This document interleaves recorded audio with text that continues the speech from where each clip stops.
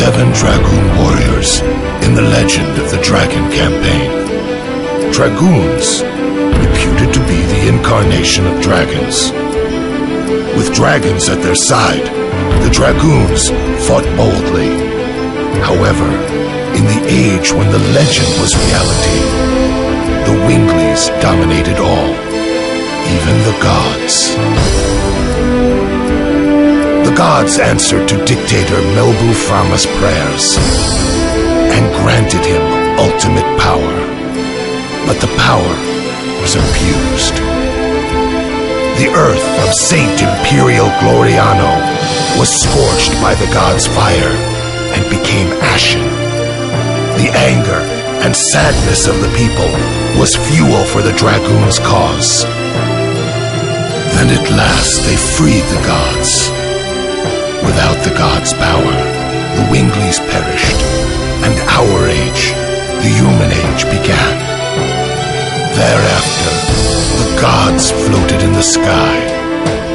For 11,000 years, they have been looking over the world as the moon that never sets.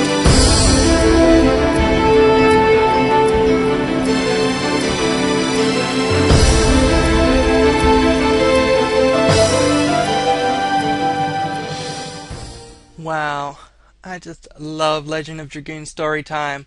And if you love Legend of Dragoon story time, good news because uh, guess who in a couple of minutes is going to have another one of those. Um, yep, it's Librarian Ute. Librarian Cool Voice Ute. That should be his nickname.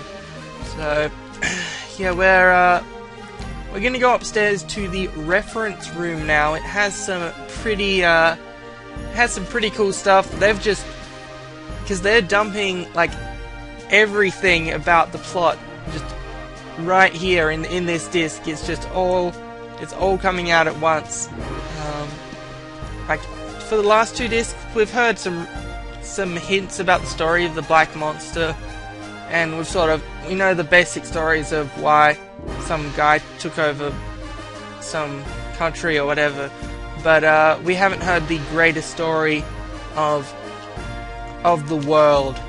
Um, and that's what we're going to find out now. We've got the remains of Neet, which is uh, which is the name of the village Dart was born in got, that got destroyed by the Black Monster.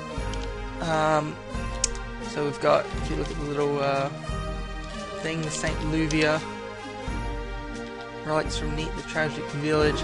Bit of bit of a hint here. If you remember last disc, there was a ghost ship I believe looked a bit similar. Hmm.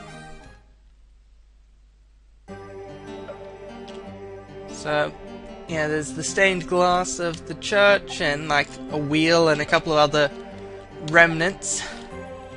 And uh, most importantly, Librarian Ute knows that there is another survivor uh, who is the second sacred sister of uh, of the land that I've been avoiding pronouncing because I, there's too many vowels, like E A E U, like Sesso, Sessao. I don't I don't speak like French. I don't know what's going on there. Mill Sesame Street.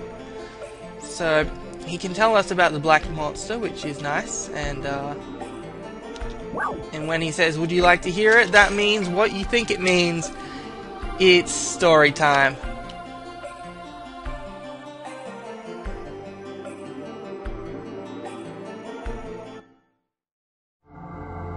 Why did the gods create him? The Black Monster. He appears in various legends as a demon who rebels against and devours the gods. An evil plague that rejects peace in the world. The god that is the moon that never sets. The moon that never sets glows red every 108 years. It is a sign that a herald be sent to Earth. The herald is known to us as the Moonchild. The legend says the Moonchild revives the gods on Earth and purifies the world. Black Monster abhors, hates, and despises it, and kills the Moonchild. This sad karma is endless. This god stays forever in the sky, and the world is in never-ending chaos.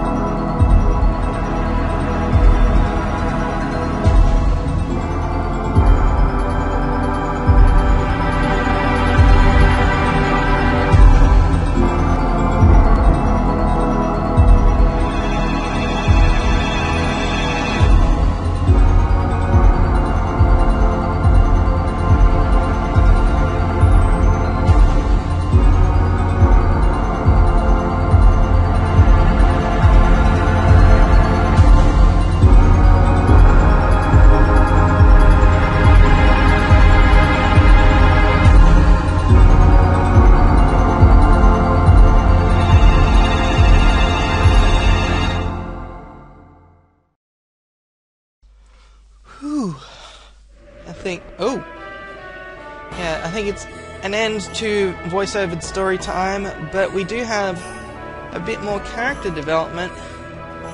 It looks like there's someone else with a connection to the destroyed village of Neet. So this is what Rose decided to uh, to disappear for. Why she decided to uh, leave the party for a bit. It was to uh, visit Neet, maybe to visit the uh, gravestones over here like these people.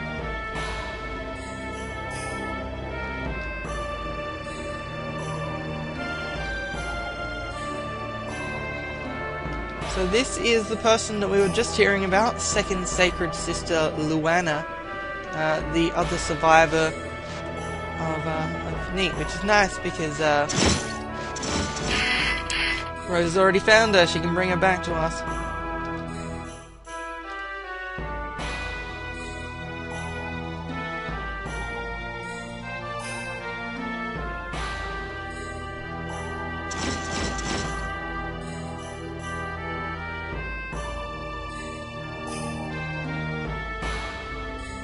Getting distracted by Rose's armor clipping through her hair.